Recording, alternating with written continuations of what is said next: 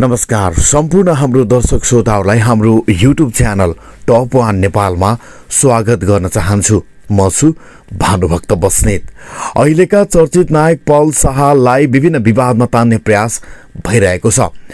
नेपाली दर्शकको मनमुटुमा बस्न सफल नायक पल शाहलाई विभिन्न तान्ने प्रयास यति बेला भइरहेको छ। नेपाली दर्शकको दरिलो साथ पाएका नायक पल शाहलाई जति विवादमा ल्याउन खोजिए तापनि विवादलाई पल शाहले सहजै पन्छाइदिएका छन्। आफ्नो केही दोष नहुँदा पनि बारम्बार विवादमा तान्न खोजिएको भन्दै पल शाहले आफ्नो विचार व्यक्त गरेका छन्। त्यसै गरी पल शाहले मिडियालाई पनि आरोप लगाएका छन्। कुरा बुझ्दै नबुझी हावा तालमा समाचार बनाउने मिडियाहरूप्रति पल शाहले कडा व्यङ्गे प्रहार गरेका हुन्। पल शाहले भनेका छन् न्युज बनाउँदाखेरि सकेसम्म बुझेर बनाउनुपर्छ भन्दै जवाफ दिएका हुन्। यसै क्रममा पल शाहलाई विवादमा तान्ने प्रयास भइरहँदा चर्चित नायिका मल्लिका महतको भने दरिलो साथ प्राप्त गरेका छन्। नेपाली दर्शकले रुचाएका पल शाह र मल्लिका महत यति बेला चर्चाको शिखरमा रहेका छन्। विवादमा तान्ने प्रयास गर्दै रहँदा यति बेला मल्लिका महतले भने पल शाहलाई दरिलो साथसँगै सपोर्ट पनि गरेकी छिन्। मल्लिका महतले विवादमा तान्नु नराम्रो भएको विचार व्यक्त गरेकी हुन्। पछिल्लो समयमा पल्सा र मल्लिका महतको गाजल टिकी भन्ने बोलको गीत सार्वजनिक भएको छ। मिडियामा आफ्नो विचार राख्दै मल्लिकाले विवादमा तान्नु नराम्रो भएको जानकारी दिएकी हुन्। कुनै पनि मिडियाले न्युज बनाउँदाखेरि बुझेर मात्र न्युज बनाउन आग्रह समेत गरेकी छिन्। पल शाह र मल्लिका महतको जोडी यति बेला उत्कृष्ट जोडीको रूपमा रहेको छ। पल शाह भने थुप्रै म्युजिक भिडियोमा काम गरिरहेका छन्। त्यसै गरी पल शाहले मल्लिका महतसँग अन्य म्युजिक भिडियोमा समेत काम गरिसकेका छन्। पल शाह र मल्लिका महतका म्युजिक भिडियो यति बेला चर्चाको शिखरमा रहेका छन्। पछिल्लो समय सार्वजनिक भएको गाजल टिकी भन्ने बोलको गीत यति बेला हिट बनिरहेको छ।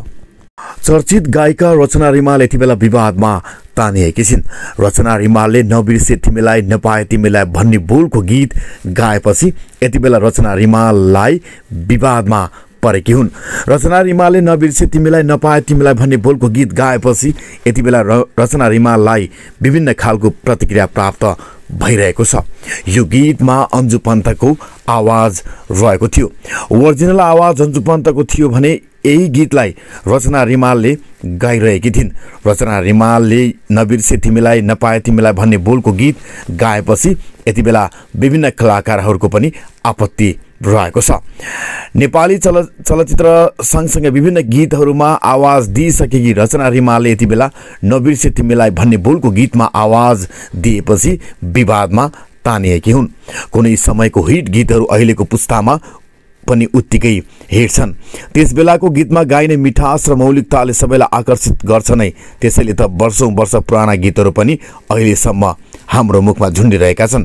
तर पछिल्लो समय यी गीतहरूलाई रिमिक गर्ने होटबाजीले पुराना स्रष्टा र सिर्जनामाथि अन्याय हुन थालेको आवाज उठ्न थालेको छ। पछिल्लो समय अहिलेकी लोकप्रिय गायिका रचना रिमालले गायकी नबिर्से तिमीलाई नपाए तिमीलाई गीतबाट यो आवाजले बुलन्द रूप पाउने छाँटकाट देखिएको हो।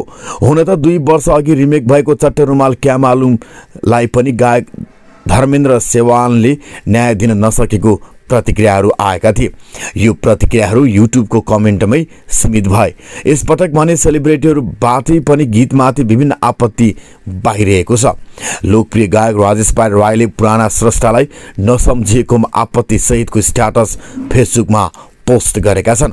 हुन पनि हो किरण क्रिएसन नामक युट्युब च्यानलमा सार्वजनिक गरिएको भिडियोको डिटेल्समा यो गीतका पुराना गायक गायिका जगदीश समाल र अन्जु पन्तको नाम कहीँ कतै उल्लेख गरिएको छैन।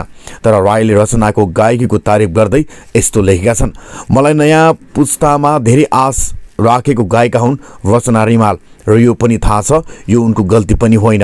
अब कुरो अरे बाबा विपिन किरिन जस्तो हस्ती जसले स्रष्टाको हकको लागि लड्ने मान्छे अनि महेश खड्गा नामै काफी जसको नाम बिना सङ्गीत अधुरो हुन्छ। अनि दुई हस्तीले यो गीत रेकर्ड गरिरहँदा असली गायक जगदीश र गायिका अन्जु पन्तलाई सम्झिनु पर्दैन। विवरणमा ओरिजिनल गायक जगदीश समाल गायिका अन्जु पन्त उल्लेख नगर्नु। हामी सबैलाई हानिकारक तर रचनाको गायकी तारिफ योग्य छ। यता चलचित्र निर्माता सन्तोष सेनले पनि यो गीतको बारेमा आफ्नो फेसबुकमा स्ट्याटस हालेका छन्। पछिल्लो समय चलेको भर्जन ट्रेनलाई औल्याउँदै उनले यो रचना भर्जन के हो भन्दै प्रश्न गरेका छन्। उनको स्ट्याटसले भने रचनाले गीतलाई न्याय दिन नसकेको भन्ने भाव प्रष्ट पारेको छ। यस्तो ससेनको स्ट्याटस नबिर्से तिमीलाई बालबालिका भजन केटा भजन अनि बाजे भजन निकाल्नु यो रचना भजन के हो? रचना रिमाल उदाउ उदाउदी अहिलेका सङ्गीतकारको रोजाइमा पर्ने गायिका मध्येकी एक हुन्। धेरै गीत गाउँछिन् पनि। तर यो कालजयी गीत जसमा अन्जु पन्तको जीवन गाइन्छ यसको इज्जत राख्नुपर्छ। रियालिटी सोमा गाउनु कभर गर्नु राम्रो हो। पुनः रिरेकर्ड गरेर मौलिक गीतको धज्जी उडाउनु गलत हो। डलरको लोभमा गायकी र आफ्नै सृजनाको हत्या भएको छ।